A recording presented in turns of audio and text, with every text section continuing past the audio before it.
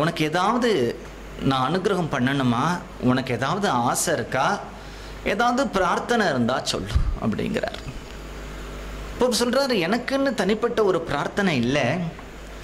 ஏன் அப்படின்னு விட்டா ஒருத்தனுக்கு பணம் கேட்கலாம் நான் ஏழையாக இருக்கேன் அப்படின்னு சொல்லிட்டா உத்தம குரு கிடைச்சவனுக்கு பணம் ஒரு லட்சியமாகவே இருக்காது.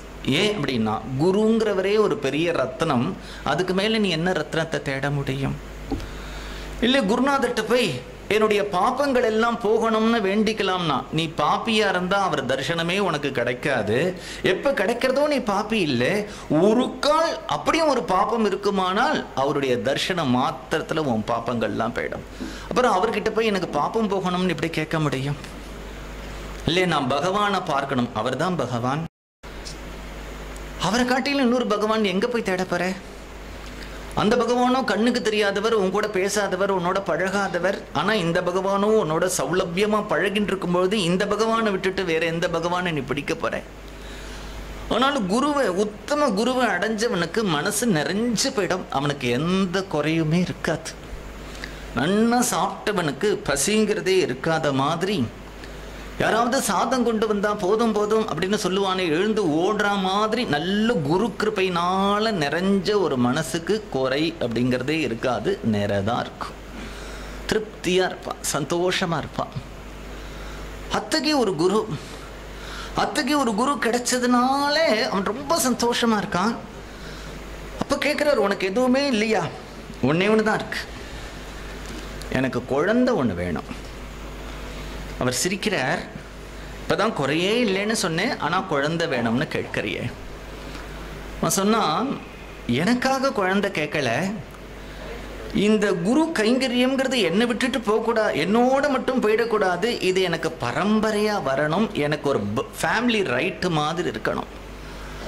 நான் போனதுக்கு பிறகும் உங்களுக்கு கைங்கரியம் பண்ணுறதுக்கு ஒரு குழந்தை வேணும். அதுக்காக தான் குழந்தை கேட்குறேனே தவிர எனக்கு குழந்தை இல்லைன்னா இப்போ என்ன ஆக போகிறது நான் ஏதோ கர்மாக்கள் பண்ணி அதனால நான் நல்ல கதி போகணுங்கிறது இல்லை உங்களை அடைஞ்சதுனாலேயே நான் மோட்சத்துக்கு தான் போக போறேன். உங்களுக்கு தொடர்ந்து கைங்கரியம் பண்றதுக்கு எனக்கு அதுக்கு தகுந்தால் போல ஒரு குழந்தை பிறக்கணும்னு கேட்ட உடனே ஒரு மனசு ரொம்ப குளிர்ந்து போயிடுது. சந்தோஷமா பக்கத்துல ஒரு பழம் இருந்தது சத் சந்தானம் ஏற்படும் அப்படின்னு அனுகிரகம் பண்ணி கொடுத்தார். மகான்களுடைய வாக்கு சத்தியமாயிடும் இல்லையா? சுகுணா தேவி கர்ப்பவதியானா அவர்கள் எதிர்பார்த்த மாதிரியே குரு பூர்ணிமா அன்றைக்கு அவர்களுக்கு கிருஷ்ண விக்கிரகம் ஆட்டம் ஒரு குழந்தை பிறந்தது. அந்த குரு பூர்ணிமா அன்னைக்கு அந்த குழந்தை பிறந்திருக்கு இல்லையா? பிறந்ததுலேருந்து இவர்களுக்கு ஒரு ஆசை. நல்ல குரு குடும்பத்தில் ஒரு குழந்தை பிறந்தா அந்த குழந்தைய அவர்களுக்கு முதல்ல ஆசை என்னன்னா எப்போ குருநாதருடைய திருவடியில் கொண்டு போய் போடுவோம்? எப்போ குருநாதருடைய திருவடியில் போய் கொண்டு போய் போடுவோம்? எல்லா வாளுக்கு தெரியும்.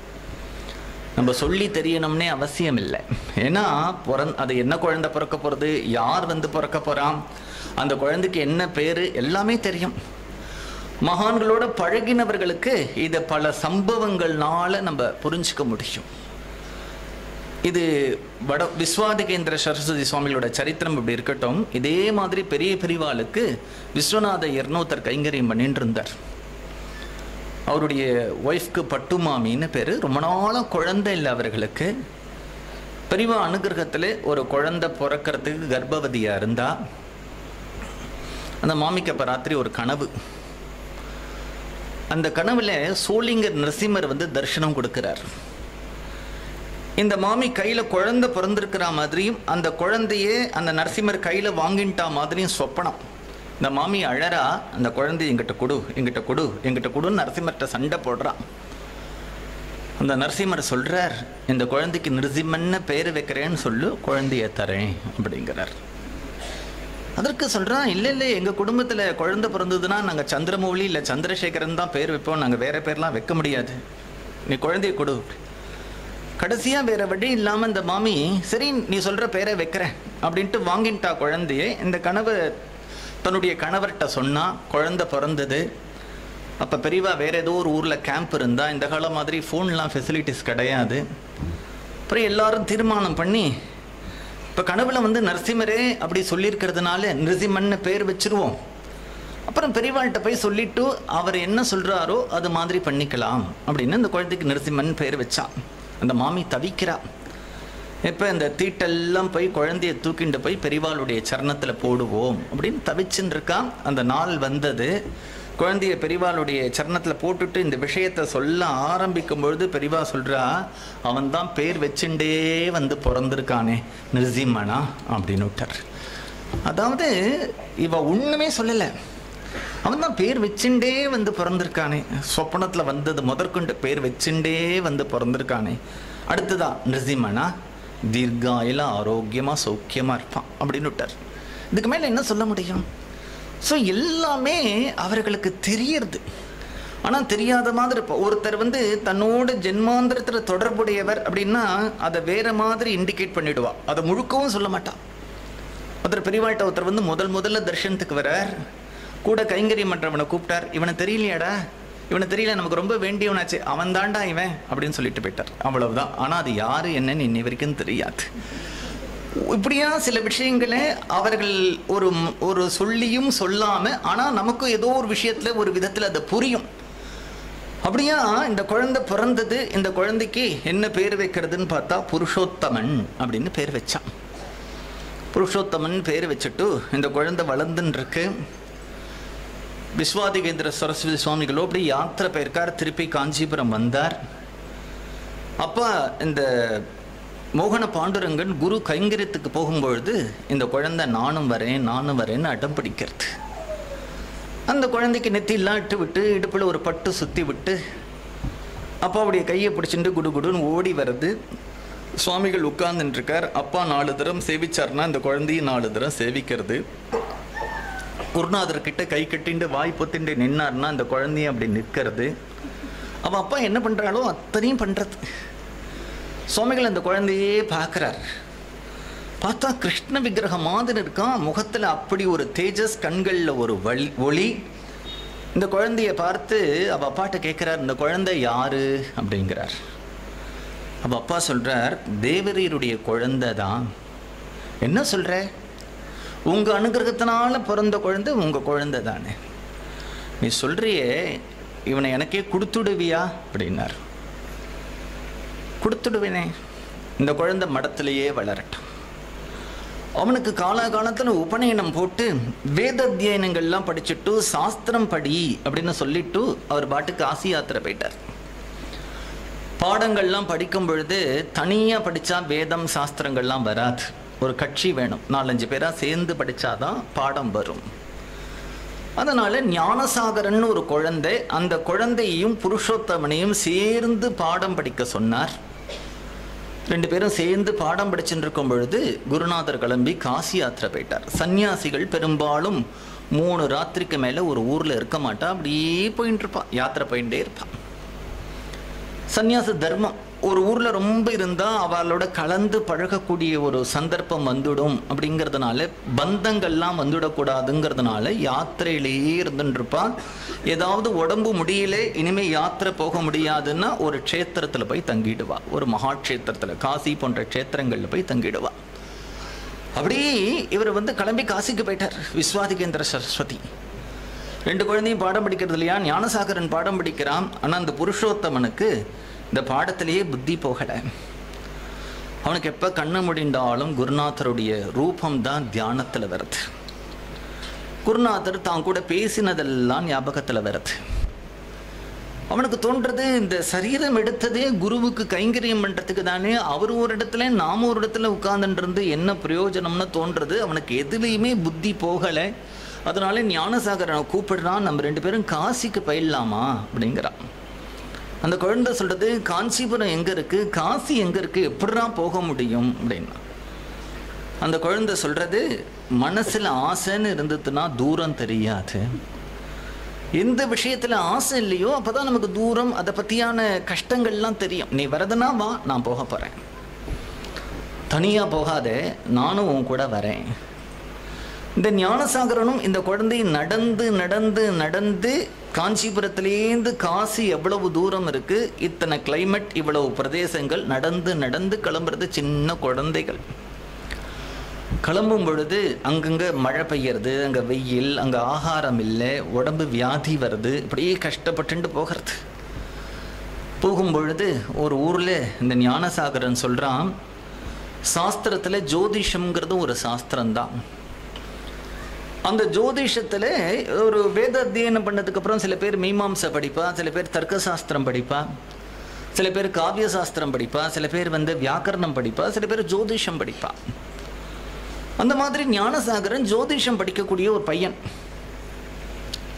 அந்த பையன் சொல்கிறான் நம்ம கிளம்பின ஒரு நேரம் இருக்குது பற்றியா அந்த முகூர்த்தம் அந்த முகூர்த்தத்துக்கு நான் ஒரு கட்டம் போட்டேன் அதை பார்த்தா எனக்கு என்ன தோன்றதுன்னா எனக்கு ஒரு பயம் வருதுடா. நீயும் நானோ யாரோ ஒருத்தர் தான் காசிக்கு போவோம். வழியில் ஒருத்தர் பகவானுடைய திருவடியை அடைஞ்சிடுவோம். ரெண்டு குழந்தைகள் பாவம். ரெண்டும் அழறுது. அழுதுண்டு இன்னொரு குழந்தை சொல்கிறது நீ இல்லாமல் நான் அப்படிடா காசிக்கு போவேன்? ஏய் நீ இல்லாட்ட மட்டும் நான் போவேனா? ரெண்டு பேரும் கட்டிண்டு அழுது ஒரு சத்தியம் பண்ணிக்கிறா. யார் பகவானுடைய திருவடியை அடைய போகிறோம்னு தெரியலை. யார் ஒருத்தர் அடைஞ்சிட்டோமோ மீதி இருக்கிறவர் காசியில போய் குருநாதரை தரிசனம் பண்ணிட்டு கங்கையில போய் உயிரை விட்டுடுவோம். நீ எந்த லோகத்துல இருக்கியோ அங்க நான் வந்து விடுறேன். குழந்தைகள் ஒரு ஸ்நேகத்தினால அப்படி ஒரு பிரதிஜை பண்ணிட்டான் பன்னெண்டு ரெண்டு குழந்தைகளும் போகும்பொழுது இந்த நர்மதா நதிக்கரையில் ஞானசாகரன் பகவானுடைய திருவடியை அடைஞ்சான். புருஷோத்தமன் பார்த்து அழறார். அவருக்கு நல்ல விரக்தி ஏற்படுறது இப்போ. யாரோ ஒருத்தருடைய மரணத்தை கேள்விப்பட்டு ஏற்படுற விரக்தியை காட்டிலும் நம்ம கூடயே படுத்துண்டு நம்ம கூடயே சாப்பிட்டு நம்ம கூடயே தூங்கி நம்ம கூடயே பேசி ஓடி ஆடி இருந்தவன் இன்றைக்கு எதுவும் இல்லாத ஒரு கட்டை போல கடக்கான் சித்த நாளில் அவனை கொண்டு போய் பஸ்மம் ஆக்கிட போறோம்னு நேர பார்க்கும் பொழுது அந்த விரக்தி மனசுல நன்னா பிடிப்படும் அப்படிதான் பிடிபட்டது. அத்தகைய விரக்தியோடையே குருவை பார்க்கறதுக்கு காசிக்கு போறார். ஆச்சரியப்படுறார் குருநாதர் காஞ்சிபுரம் எங்க இருக்கு? காசி எப்படி இருக்கு? நீ எப்படி தனியா வந்து? உன் கூட யார் வந்தா? எல்லாம் விசாரிச்சார். அந்த குழந்தை சொல்றது எனக்கு ஒரு அனுமதி கொடுக்கணும். என்ன அனுமதி?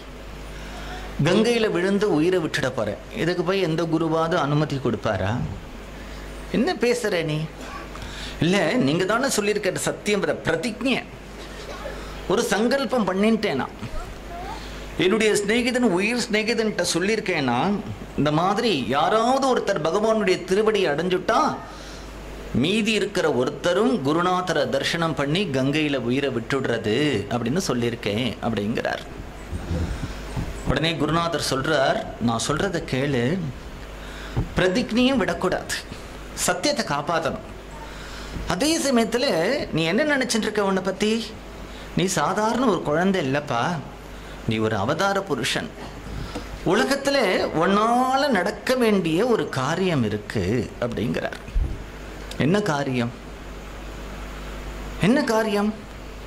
இதற்கு முன்னாடி இப்போ ஆதிசங்கருடைய சரித்திரத்தை ஆரம்பிக்கும் பொழுதே பிரஸ்தான திரயத்துக்கு பாஷ்யம் பண்ணினார் கீதைக்கு பாஷ்யம் பண்ணினார் உபனிஷத்துக்கு பாஷ்யம் பண்ணினார் பிரம்மசூத்திரத்துக்கு பாஷ்யம் பண்ணினார் அப்படின்லாம் சொல்லிட்டு வந்தேன் இல்லையா? ஆனால் அதற்கு முன்னாடியிலிருந்து எவ்வளவோ பக்தர்கள் சில கிரந்தங்கள் ஸ்மிருதிகள் கூட பகவன் நாமத்தினுடைய பெருமையை சொல்லிகிட்டே இருக்கு. என்ன காரணம்னா முதல் முதல் முதல் முதல்ல வேதம் மட்டுமே உலகத்தில் இருந்தது. வேதத்தை தவிர யாருமே ஒரு கிரந்தம் பண்ணவே இல்லை. நோ அதர் டெக்ஸ்ட் ஆர் ஏதாவது ஒரு ஒரு காவியமோ புராணமோ இதிகாசமோ இல்லைன்னா ஒரு ஸ்தோத்திரமோ வேதத்தை தவிர பாடல்களோ இல்லாமல் இருந்தது. வேதம் மட்டும்தான் இருந்தது. வேதத்துக்கு அப்புறம் வேதத்தை தவிர இன்னொன்று வந்ததுங்கிறது ராமாயணம் தான் முதல்ல ஆரம்பித்தது அதனால தான் ராமாயணத்துக்கே ஆதி காவியம் அப்படின்னு பேர். ராமாயணம் வந்த பிறகு மகாபாரதம் வந்தது இதிகாசம் அப்புறமா நிறைய ஸ்தோத்திரங்கள் வந்தது பாகவதம் போன்ற புராணங்கள் வந்தது பின்னாடி. அதுக்கு முன்னாடி வேதத்துக்கு தவிர ஒரு கிரந்தம் பண்ணுறதான்னு எல்லாரும் பயந்துன்னு இருந்தா யாருமே வேதத்தை தவிர வேற ஒரு கிரந்தங்கள் பண்ணலை. முதல் முதல் வால்மீகி தான் வேதத்தை தவிர ஒரு கிரந்தம் பண்ண ஆரம்பிச்சார்.